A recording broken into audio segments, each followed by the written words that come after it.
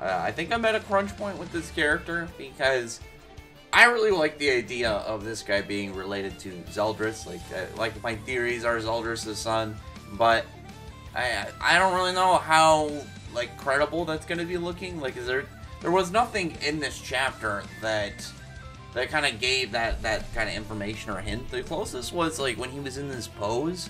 I was kind of thinking about Ominous Nebula, but he's got like the dark stuff on his sword. That's like the most I think added in this chapter that might fit into that category, might fit into that whole um, and that whole setup and like the stuff with blood. But I don't think there was any information otherwise that was hinted in this chapter. And there's even a part when he's talking and he mentions something about uh, his sister and then the the giant girl. They're like when people are referring to this dude Gnostians, and I think it's Donny, and he's uh, he's saying that this guy's a villain. Like she gets upset, and I'm like, I'm really hoping that that's not like an indication of any kind that they're related, because it would be even weirder. Because okay, like a giant, you're gonna have a giant. Like if, if a giant's child is is you know in this series, the first person people are gonna think of is you know from Diane King. But I don't really see that like that being possible because for one, this dude himself looks absolutely nothing like King or Diane to any degree. Um, and with the girl, one, how would you have like? Would it just be like one normal sized person born? Well, kid, not person. Um, I guess we don't really know how old he is, but I mean, like, he, he definitely doesn't look very old. I mean, he could be similar to Percival, where he's actually like pretty you know, he's, he's of a much older age, but he just looks young. Because, you know, Percival, look, Percival looks like he's like 7 or something, but he's 16. And this dude, I mean, maybe it could be a similar thing. Because that, that, that is enough of a, you know, I guess maybe potential initial nod if he is actually the same way as Percival. And, like, maybe he is Zeldris' kid. Because Zeldris, we know, you know, Demon, Demon did slower, and then uh, Gelda vampire. So like you can kind of work that out. Maybe maybe that's like the mixture made him age uh, a little faster. Because the same thing with this other girl, what named uh, Dolores or whatever. Like she's a giant, so she should age extremely slow. Uh, like I don't know the exact ratio for some of the species in Seven Sins, but I remember there was that one point in a King and Diane flashback where it was like they met a human at one point when he was a kid, and then they they met him later, and actually, I, I think it wasn't even him because I was gonna say like it was like him, but like he was an old man. But I don't even think it was like the same guy. I think it was like his grandkid or something. So it had been like a hundred plus years. I had to go back and look. I'm sure like somebody who you know more, knows more about like the full like it just probably of knowing what chapter I'm talking about or what scene I'm talking would be like, oh yeah, like you know, correct me on that one, whether it's the same guy or you know, a descendant of Regardless, like they obviously age slower, and it's been only 16 years.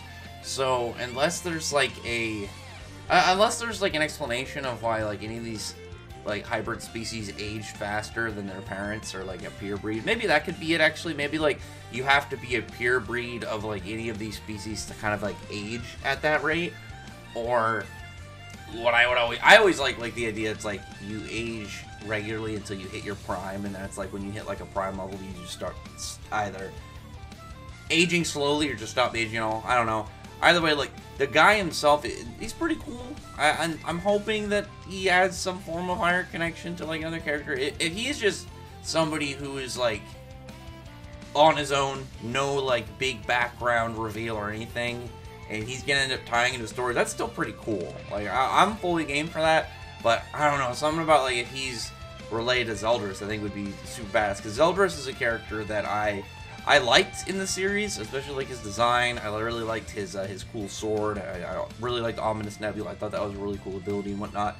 But he was one of those ones where it's it's unfortunate you don't get to see more of him for like how important he should have been in the series because like he this because he, he had been in the series for majority of the uh, of the time. You know, the Ten Commandments came back at like the beginning of the second major arc, and he just didn't have a lot of spotlight. He had a couple scenes where he'd pop in, but Nakaba focused more on the other uh, the other stuff. I, I always really wish that he had like more of a active role, at least in being in places and having scenes, even if he wasn't kind of fighting. Like I was just thinking more of like an Ulquiorra type kind of character. You're gonna gonna take a while to get to his fight, but before then, you're gonna see just a lot of him, you know, a lot of content of him essentially.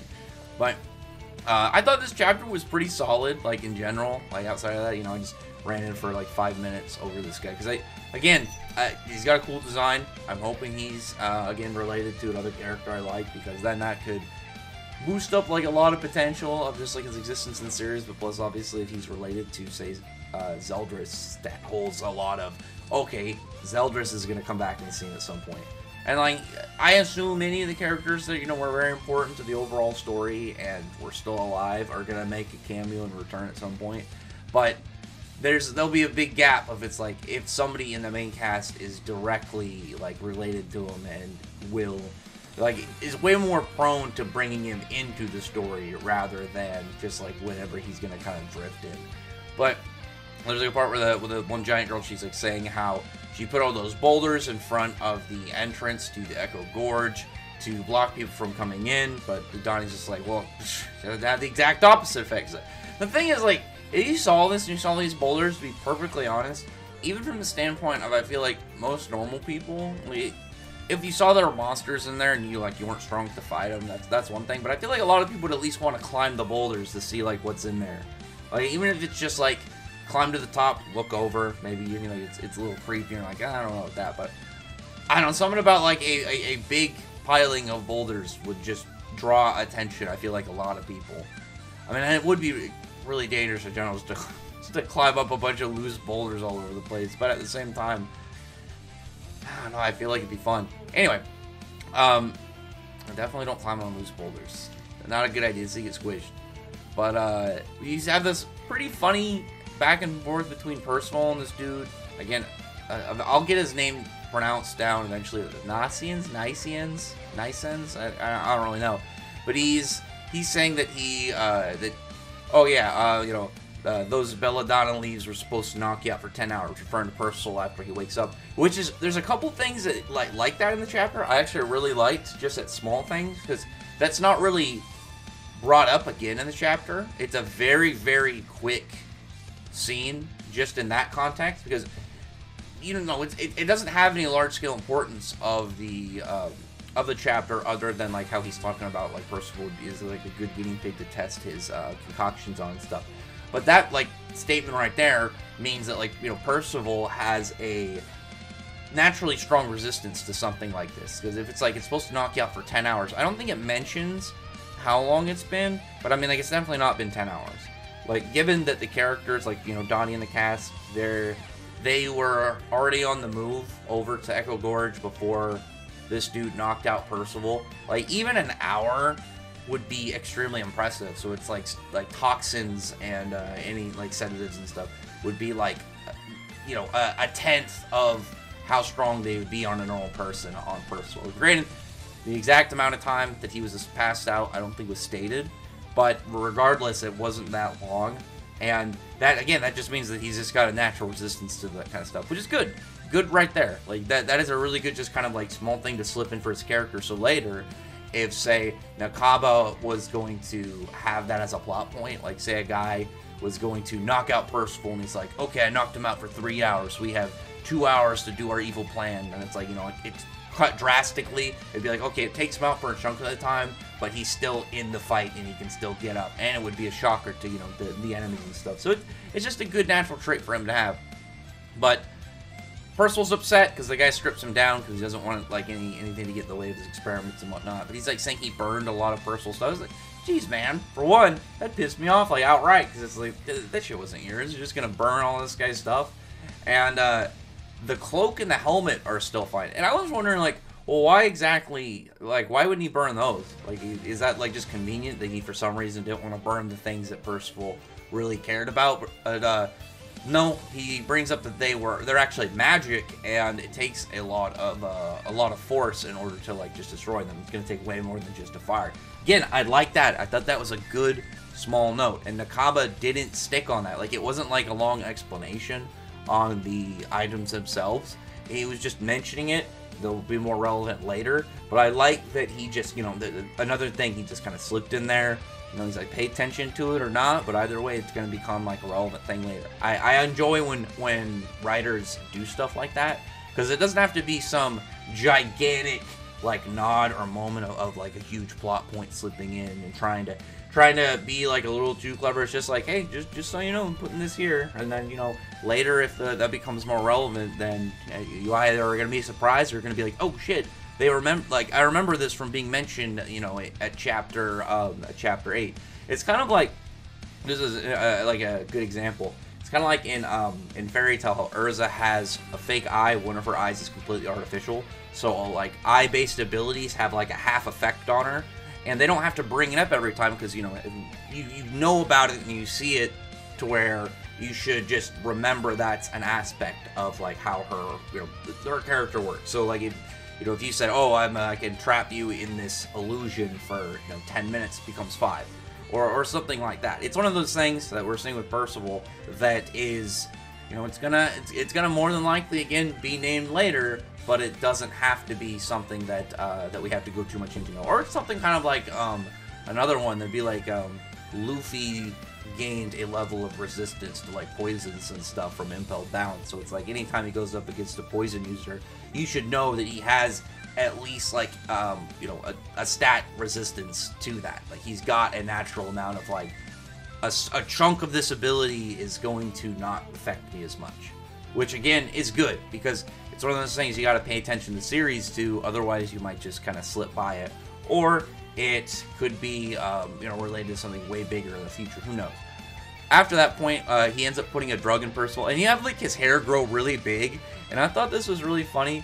So, uh, both from the point of Dolores, because like Dolores, um, her character, um, from what I remember, I actually went and looked at the character because uh, Quan Credible, know, also does Four Knights at Apocalypse videos, go check him out. On, on top of bringing up uh, the character Dolores being a giant that used to be friends with Matrona and Diane, but also he was not happy about Percival's hair because he doesn't like Percival's hairstyle, and they- they just made it goofier in here. He's got like a full Yu-Gi-Oh hairstyle now, or it's just it was already an anime hairstyle, but now it takes up like a, a half of his body mass. I thought that was just pretty funny. But this dude, he's like not saying he's he's like mentioning how um, he was experimenting on that fairy, but the fairy attacked him first, and he only like attacked back. Which I mean, that that seems like a little bit of like a mild justification, not the same thing. But it's like, yeah, I mean, yeah, he messed with you first, so uh, do as you do. But he also like brings up this uh this, this kind of quirk he has where when he gets really excited he bites his lip until it like bleeds and i'm like he's gonna he's gonna have like a really creepy set of scenes in like the series if this is like a regular thing for him assuming he sticks around and he's not just like a couple chapter um, enemy that we see early on. And then after that, like, like I said, you have um, just a bunch of monsters chasing Donny, and the giant the giant's upset when um, Donny ends up saying that the dude, um, again, his name, Ni- Nisens, uh, Nasiens. Somebody knows how to actually pronounce it. Please tell me. Um, he- you know, she gets upset that he says anything like that. She's like, he's not, he's not like that. So again, there's either there, she's the sister that he mentioned, but I, that'll be so weird. It would require such like an odd explanation, or she's gonna be like his love interest character because like that those are the only two things like upset they're make they're like saying anything about her brother or upset that they're saying anything about like the guy she has a thing for.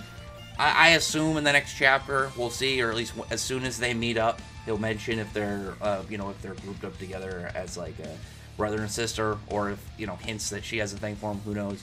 But um when we get back to uh Nasiens he's still making um, some of his concoction. He's like, uh, you can leave after this next mixture, but you got to be careful because like slightly wrong, and uh, and you're gonna die. But like he's he's like shaking a little bit from pouring it in, and uh, and you have Percival being like, uh, are, are you even gonna actually like be able to do this? So you're just shaking it. You know, you might just mess up because the guy just mentions like, hey, if, if it's not right, eh, it might kill you. But at the same time, like at the end of the chapter, he just drinks it. So like Percival just seems a little too risky. Like Percival definitely, at least right now, has that personality. If like if he ran into like a really broken character or something with like a really crazy power, like that guy could easily trick him into just taking the hit and like getting rid of him. Like if he had some dude who maybe I, am trying to think of something like a spatial attack or something. I'm just thinking like top of my head like uh, Langris who could just spatially swipe stuff. If he's just like like just completely coaxed him into like taking the attack and then just kind of said nope. Like first of Percival seems too risky. He needs the battle experience because it's like any, normal person I feel like would be like I don't want to drink this guy's random potion. You have no idea what it is. But it's like if you're if you're that risky, I mean, do your thing. But we'll see. Um, but he's like mentioning that he doesn't need to tell um, you know an outsider the like the mission he has, which again. Um, clearly something was much bigger with this guy, and I, am hoping that he's going to end up having that, um, again, larger scale importance. If, if, he's like a brand new character, a brand new story, though, again, I'm perfectly okay with it. First ends up breaking free. He gets his hat on, gets his cloak back. I like that his hat would stay on. You know, obviously his hair is too big. It's just gonna completely just become like a uh, like a loose accessory at this point. Um, they get like a bit of a scuffle. Obviously, Percival is, you know, he's he's very strong for like his size and age. Like he's not like crazy powerful, but like as far as we know, like Nasiens, he's not. He doesn't seem like that much of a like powerhouse. He's mostly just like a guy who's got like a magic dagger, a magic sword. So he's just doing his best. I still think that was like a really nice little scuffle, but when Percival falls over and his hat just kind of like shoots up from his hair retaking shape, and you know ends up knocking the dude down. His vial like goes in the air. Percival grabs it and ends up drinking it. So I'm wondering what that's gonna do to him in the next chapter. Like we'll, we'll get an explanation of it. Cause like it was the, the, that was the point of the chapter where I was like, I have no idea where this is gonna go. Like, I don't I don't think it's mentioned what that like vial does, like what is in there, but it's gotta be something weird. Like is Percival gonna grow really tall for some reason? Is he going to get bigger? Who, who exactly knows what? Maybe that could be the thing for this guy, where it's like maybe he was trying to, because it's like his hair gets bigger. Maybe it has something to do with getting bigger in general. Maybe like he's stuck small and he wants to get like to a larger size. Or what if that uh, Dolores girl is not actually a giant? She got cursed by something that made her big. Or Nasiens is actually a giant who got made small, or he's always been small and he's trying to become big. Who knows? Either way, though, uh, tell me your thoughts about this. Like, the, chapter itself is weird because I liked it, but like outside of like the points I mentioned, like I didn't have a ton to talk about. I, I like the majority of, of what I had to say was mostly like ranting at the start of like how I I really want this guy to be related to Zeldris. Um, the, the only reason that I'd be okay with it not being related to Zeldris, because like his name is what Nasiens, is I was I was putting my eggs in the basket of Zeldris and Gelda considering their child would be a demon vampire. I was hoping so bad that he would name his kid Dracula. I think that would just be really sick. It'd be really a really cool nod. I mean, plus like it, I mean that's like the darkest combo you'd get out of him. That and what would be the most powerful vampire, I would assume, in the history of their world.